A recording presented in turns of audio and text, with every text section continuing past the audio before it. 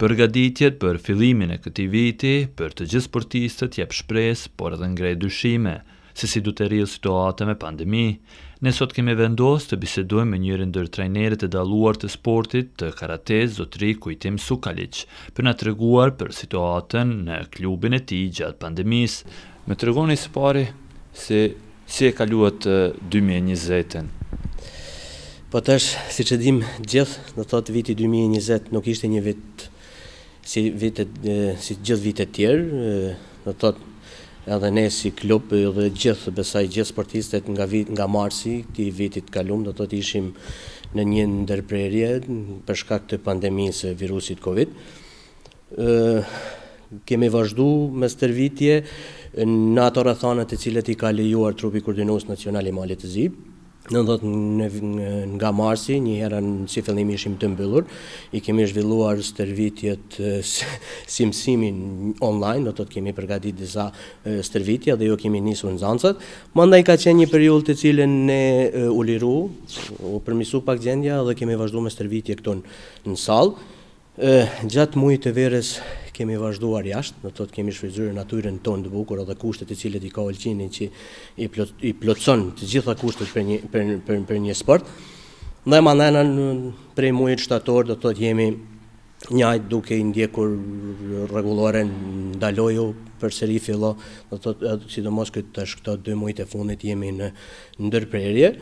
E kemi kemi vazhdu disa stërvitje me disa anëtarë të cilët janë të rregullt dhe janë garues të përfaqësueses së Malit të Zi, kemi majtë në natyrë përjashta, por do të thotë edhe ato në mënyrë të kufizume për shkak të rregullave të cilat e ka kërkuar Trupi Koordinues Nacional i Malit të Zi. Për vitin dy mijë e njëzet e një, A ka ndonjë farë plani se si do vazhdojë dhe a do mbë ndonjë garë, ju kanë njoftu lidhur me këtë?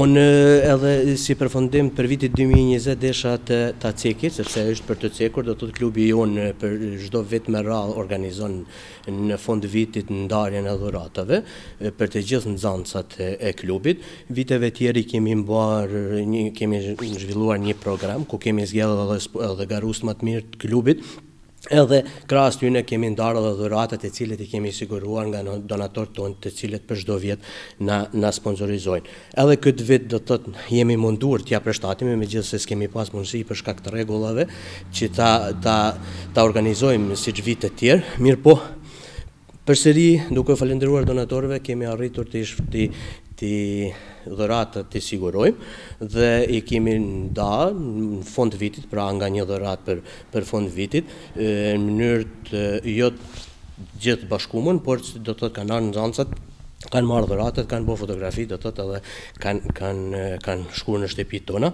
tyne, Kështu që unë do deshta që t'i t'i falenderoj do të thotë të gjithë marketet të cilët kanë donu, Kallabën, Sollarisin, Jadranin edhe Sarsin. I falenderoj sepse gjithmonë janë përkrahës tonë. Për sa i përket vitit dy mijë e njëzet e një, do të thotë ne tash Këto dhjetë ditë të parë njëherë jemi në pushim, sepse çdo vit, do të thotë dhjetë ditë e parë kemi qenë në pushim. Me sa di unë, me sa kam informata, do të thotë deri me datë njëmbëdhjetë janë këta rregulla njëherë që çdo gjë është e ndalume për sa i përket sportit. Edhe atëherë do të thotë do të shohim njëherë nga trupi koordinues nacional, sepse çfarë rregullave, çfarë rregullores do të thotë vijnë për sport. A do të lejohet apo nuk do të lejohet? stërvitjet në ambiente të mbyllura, ku shpresojmë që nga data njëmbëdhjetë domethënë do të fillojmë ashtu siç siç e parashikon rregullat të cilat do na japin. Për sa i përket garave, ende nuk kemi marrë një kalendar, do të thotë kalendari i garave fillon ka muaji shkurt, do të thonë paraqitet për tanë vitin, edhe atëherën do të thotë jemi të përcaktum se në çfarë garash do të marrim pjesë. Ne Viteve kalume, do të thotë kur nuk ishte kjo situatë, ne kemi qenë gjithmonë pjesëmarrës në njëzet e katër, njëzet e pesë, njëzet e gjashtë gara që do të ndërkombëtare dhe në, këtu në vend, mirëpo këtë vit tash e shohim një herën se sa na lejojnë kushtet edhe se sa mundna t'i realizojmë disa ndonjë garë. Kështu që unë duhet cekë që na për vitin 2020 do të thotë veç një garën e parë që një garë kemi marrë pjesë edhe atëherën Prej marsit që ish ndërprerë çdo gjë, ne s'jemi pjesëmarrës nëpër gara. Shpresojmë që kjo vit do të jetë ma i mirë dhe të fillojmë si stërvitjen, ashtu edhe pjesëmarrjen në gara.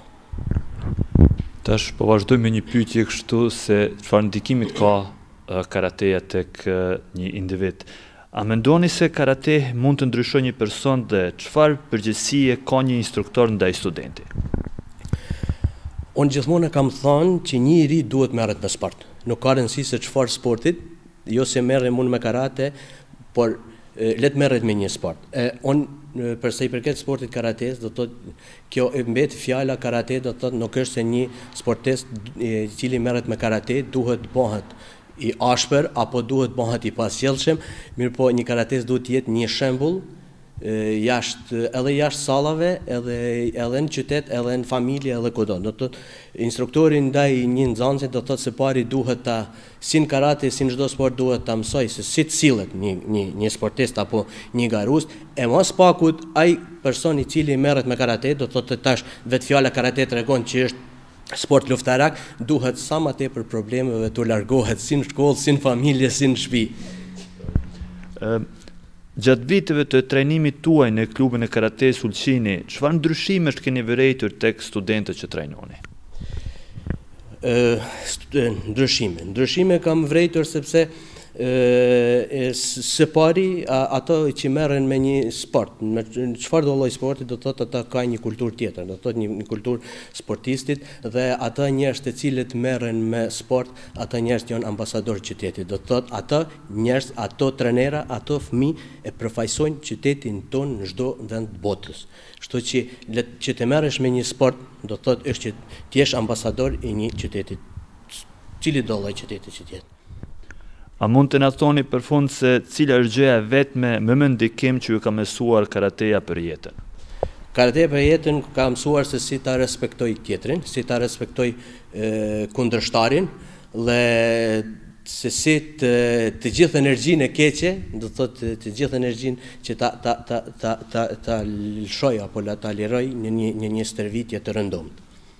Ju faleminderit edhe një herë dhe ju urojmë gjithë të mirat për vitin dy mijë e njëzet e një. Faleminderit edhe për juve që gjithmonë na jeni krah klubit tonë dhe ju dëshiroj suksese dhe gjithë qytetarëve të Ulqinit ju dëshiroj që viti dy mijë e njëzet të jetë një një vit më i mirë dhe të fillojë pak gjallënohet edhe qyteti. Ju faleminderit. Faleminderit edhe juve.